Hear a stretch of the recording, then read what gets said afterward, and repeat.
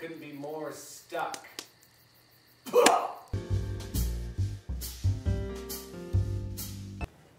I get my change, please?